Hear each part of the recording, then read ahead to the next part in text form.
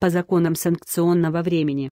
По законам санкционного времени Банк России переложился из доллара в юани евро газету «Коммерсант» номер 2 от 10 января 2019 года, СТР. 2 с обычной полугодовой задержкой ЦБ раскрыл данные об управлении активами в иностранной валюте и золоте. За июль 2017-июнь 2018 года доля активов в долларах США из-за объявленного властями РФ ухода от американской валюты снизилась вдвое с 43,7% до 21,9%, а доля активов в китайских юанях и в евро пропорционально выросла на фоне доходности долларового портфеля в 0,35% и отрицательной доходности евро-юань продемонстрировал куда больший доход в 3,2% годовых который, впрочем, в итоге был фактически съеден ослаблением китайской валюты, ставшим следствием торговой войны между КНР и США. Отчет ЦБ об управлении активами в иностранной валюте и золоте в июле 2017-июне 2018 года PDF демонстрирует результаты политики РФ по диверсификации золотовалютных резервов и уходу из доллара США.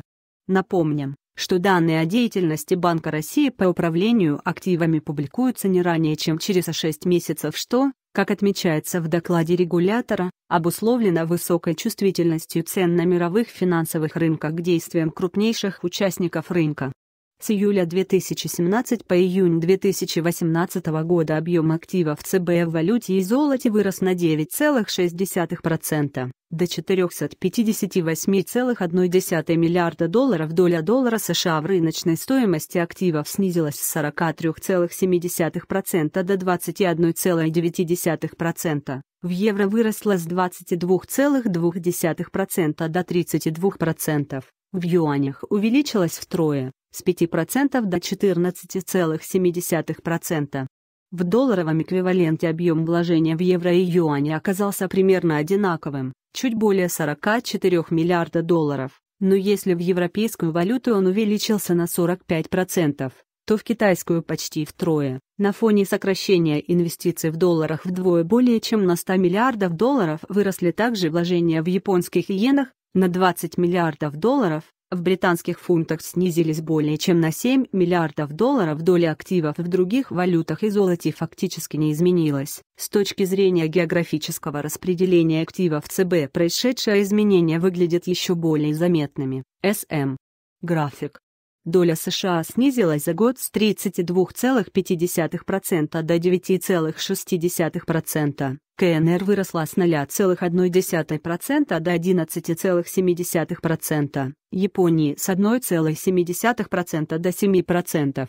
Франции с 12,7% до 15,5%, Германии с 10,4% до 12,7%. ЦБ поднял ключевую ставку и возвращается на валютный рынок в январе. Напомним, что в апреле прошлого года, после объявления США новых жестких антироссийских санкций, начался ускоренный вывод резервов РФ из гособлигаций США, US Treasuries, UST. Тогда вложения России сократились вдвое, с 96,1 миллиарда долларов до 48,7 миллиарда долларов. В мае еще втрое, до 14,9 миллиарда долларов на пике в феврале 2013 года, до крымских событий. Российские вложения в UST достигали 164,3 миллиарда долларов сейчас же, по последним имеющимся данным Минфина США, они составляют в 11 раз меньшую сумму 14,6 миллиарда долларов по состоянию на 1 ноября 2018 года.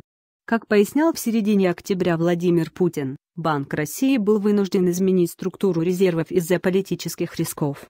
Примерно тогда же глава ЦБ Эльвира Набиулина уточняла, что регулятор проводит политику диверсификации международных резервов с учетом экономических, финансовых и геополитических рисков.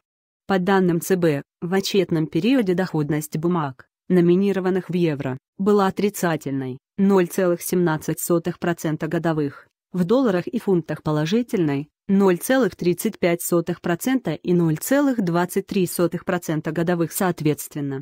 Доходность фактических портфелей валютных активов в китайских юанях с июля 2017 по июнь 2018 года была больше 3,2%. Однако следует учитывать, что курс юаня к доллару из-за торговой войны с США опустился со 6,2-6,3 юаня за доллар в первом квартале 2018 года, когда ЦБ осуществлял основные покупку валюты КНР до более чем 6,8 юаня за доллар на сегодняшний день, то есть почти на 8%. Алексей Шаповалов, Вадим Беслагузов.